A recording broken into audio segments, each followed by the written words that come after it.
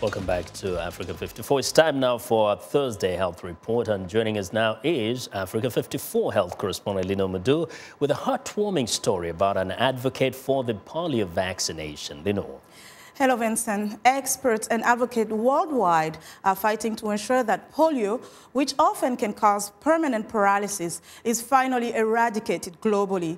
The highly infectious viral disease has no cure and can only be prevented by immunization.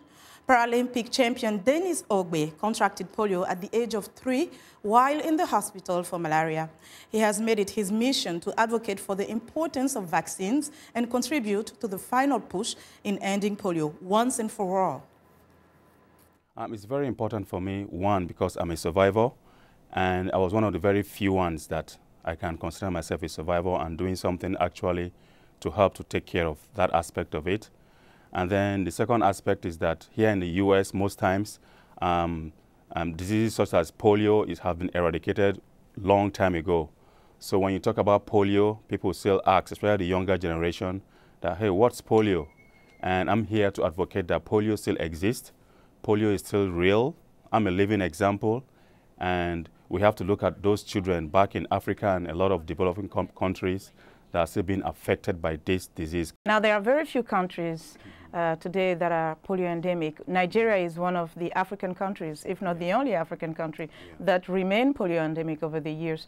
When you look at the history behind it, at some point there was a controversy where some leaders did not want to vaccinate the population. Do you go back to Nigeria and talk to people? Do you advocate on the ground in Nigeria or do you work here in the United States hoping that some of the work that you do here will have a positive impact in your country? Yes, that's what I'm doing. I, am here right now, and some of the works I'm doing now is going to have a positive impact back at home.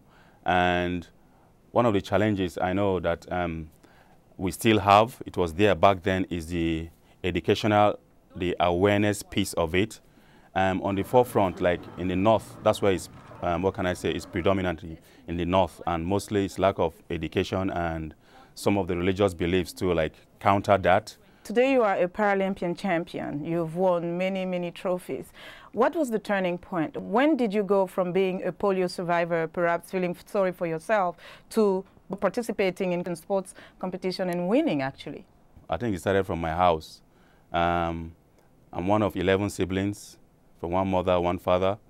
So that is the, com the competition started right there. That push came from when I want to play with my peers. And sometimes some of them seize my crutches because if I don't want to use a wheelchair and I want to like stand, they seize my crutches and dare me to take couple steps. So by so doing that, I take one, two steps, fall down with bruises. But then while I was doing that, my right leg was getting a little bit stronger. Those are the kind of things I was doing that was keeping me very competitive in what I do. And then I went into sports. I tried soccer. I tried soccer. Of course, I cannot run. So what I do is I man the post. So I used to be the goalkeeper. goalkeeper. And most times, because of my disability, um, most of my competitors say, oh, they'll just kick the ball towards Denis' bad side and he won't be able to stop it. But with time, I perfected that. So if you think I have a disadvantage to my left and you kick the ball there, you'll be surprised that I'll catch it. When we look at uh, the whole issue of vaccination. Some people are still very reluctant to vaccinate their children. We've seen uh, recently here in the United States there was a measles outbreak, outbreak, and some parents spoke out and said they don't want to vaccinate their children. Now, what do you say to these parents? Each parents have what they want for their own children, so you can't force anybody, especially here in the U.S., but they should try and look beyond what they, they believe and read more and then see people like us and do more research around, they'll see that um, those vaccinations saved a lot of life. Those vaccination is something that will either make you or mar you. What keeps you going today? But I believe um, God has blessed me so much and took me out of that poverty and put me where I am that I can use my voice to educate people, one, and show people where I've come from, where I am today. And I know that I'm not taking all the glory. A lot of people have um, helped me in the course of my life to be where I am today, that hopefully we can advocate and we're going to get more resources, especially to Nigeria, to end polio once and for all. Um, Shot at Life through United Nations and Rotary Club and a lot of clubs have done a lot of things towards that. But right now, Um, we just have that last push to make sure we eradicate um, polio once and for all.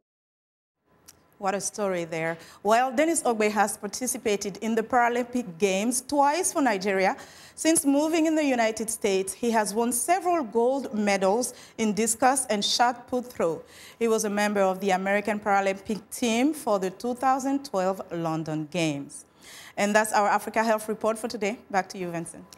Well, Linord, thanks a lot for sharing with us. And be sure to watch Linord Moudou's Health Reports every Tuesday and Thursday right here on Africa 54.